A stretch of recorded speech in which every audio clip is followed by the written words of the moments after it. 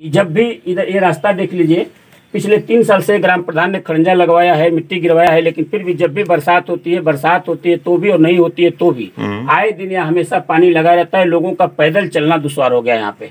तो क्या आप प्रधान जी से नहीं कहते इसके काम इसको काम करा नाली काम कराने के लिए? गाँव के प्रधान जी निष्क्रिय व्यक्ति है कोई भी व्यक्ति अगर उससे कोई शिकायत करता है या कोई काम कहता है तो कहते हैं कि हमसे कोई मतलब नहीं है। मतलब नहीं है? नहीं हमसे कोई मतलब नहीं है। उनसे कई बार कहा गया यहाँ पे कि मिट्टी गिरवा के खड़ंजा ऊँचा करवा दीजिए लोग आए जाए लेकिन वो कहते हैं कि हमसे कोई मतलब नहीं है काम पे। और गाँव सभा में क्या किसी को आवास मिला है? आज तक सुसुंडी में ना ही एक भी मुख्यमंत्री आवास बना ना ही एक भी प्रधानमंत्री आवास में हूँ तो इस गाँव की बहुत सारी समस्याएँ हमारे सामने नज़र आई। हम्म, और बहुत मुझे अजीब लगा विचित्र लगा कि इतनी सारी समस्याएँ मुँह बात के हमारे गाँव में खड़ी हैं। उसके बाद भी यहाँ के ग्राम प्रधान महोदय या कोई भी सरकारी अमला या प्रशासन इस पर ध्यान नहीं दे रहा है। एग्ज़ाम्पल के तौर पर मैं दो चार बिंदु पे बात करना चाहूँगा सर आपसे और अपनी सारी समस्याएँ में प्रशासन के थ्रू बताना चाहूँगा हम्म, कि सबसे पहले आज पंद्रह साल हो गया सुसुंडी में। हम्म, पंद्रह साल से इस गाँव का दुर्भाग्य है कि यहाँ की बीपीएल सूची अब तक नहीं बनी। है पूरे हिंदुस्तान में दो गाँव है जिसमें से एक गाँव हमारा है सुसुंडी। यहाँ की बीपीएल सूची नहीं है और बीपीएल सूची के अभाव में ना ही यहाँ वृद्धा पेंशन बनता है ना ही आवास बनता है और ना ही ना ही नाली खड़ंजे के मनरेगा में अतिरिक्त पैसा आ पाता है। एक समस्या बहुत बड़ी है इस गाँव की। दूसरी समस्या ये, जितनी इस समय स्ट्रीट लाइटें हैं गाँव सभा में, कम से कम सौ स्ट्रीट लाइटें, उसमें से एक भी लाइट वर्तमान समय में चालू नहीं है। सभी लाइटें खराब हैं। जबकि आरटीआई रिपोर्ट देखा जाए गूगल पे तो पता चला कि कई बार मेंटेनेंस के नाम पर उनका पैसा उतार के खर्च कर दिया गया है। एक बार दुर्भाग्य से ही हमारे गाँव में तेदुआ आ गया। क्या आपके पास उसका पेपर है? जी है। जो पैसा उतरा है? पेपर है मेंटेनेंस बिल है। दुर्भाग्य से एक बार तेदुआ हमारे गाँव में आ गया और तेदुआ मारा भी गया गाँव वालों ने मार दिए। तो उस समय गाँव वालों की आवाज़ उठी थी कि नहीं सारी पुल पे लाइट लगा दिया जाए कि तेदुए ना आए। ये दूसरी समस्या हमारे गाँव की है सर।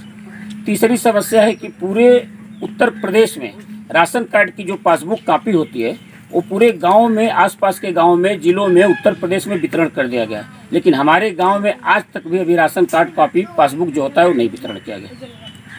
ये तीसरी समस्या हमारे गाँव सभा की है। चौथी समस्या यहाँ की है एक, एक सफ़ाई कर्मी है जबकि देश का सबसे बड़ा अभियान स्वच्छता अभियान मिशन चल रहा है। लेकिन आज यहाँ भी दुर्भाग्य हमारे गाँव का कि सिर्फ़ एक सफ़ाई कर्मी है जो सुबह ग्यारह बजे आता है और दो घंटे रहता है दो घंटे बाद चला जाता है। कहाँ मकान है उसकी? मकान अब कहीं हो ड्यूटी करता है तो आता नाम है। क्या सफ़ाई कर्मी का? राम बचन राम। तो दो घंटे की ड्यूटी करता है और गाँव में आज भी देखेंगे तो सारे हैंड पाइप की नालियाँ सारे खड़ंजे सारे गलियाँ मतलब बदबूदार बने हुए हैं। सफ़ाई का तो कोई मतलब स्वच्छता अभियान का तो धज्जिया उड़ गई है हमारे सुसुंडी गाँव में। कोई सफ़ाई नहीं है अलग से न कोई सफ़ाई तो का क्या प्रधान जी से कहे थे? प्रधान जी से सारी समस्याएँ बताई जाती हैं। हम्म, लेकिन प्रधान जी जनता ने प्रधान जी से अपनी बात कहना छोड़ दिया है क्योंकि जो भी आदमी प्रधान जी के यहाँ जाता है कि मतलब प्रधान जी, हमारी ये समस्या है तो कहते हैं कि हमसे कोई मतलब नहीं। आपका मैटर है, आप देख लो या आप गाजीपुर जाओ।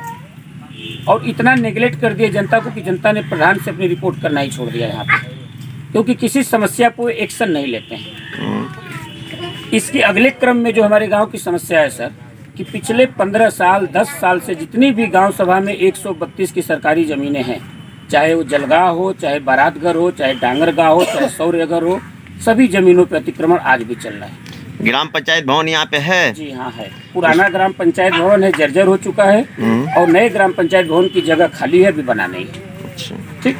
सबसे बड़ा इशू है एक बुबुही करके जलाशय है बुबुही करके। वहाँ पे एक 18 मंडा ज़मीन है जलगाह के नाम से।